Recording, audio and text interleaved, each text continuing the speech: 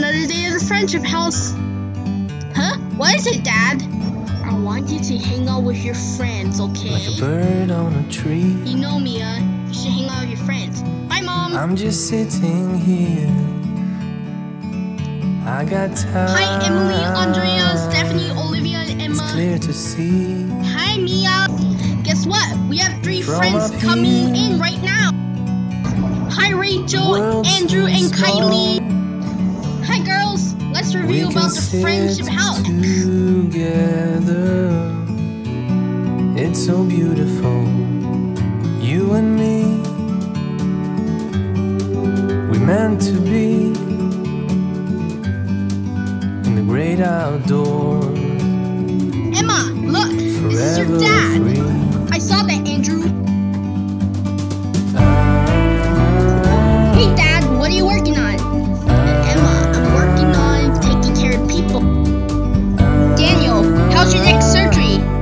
Good, Andrew.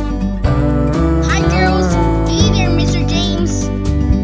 Dad, Dr. Patel, what are you working on? Well, he's kind of sick. Take a step back.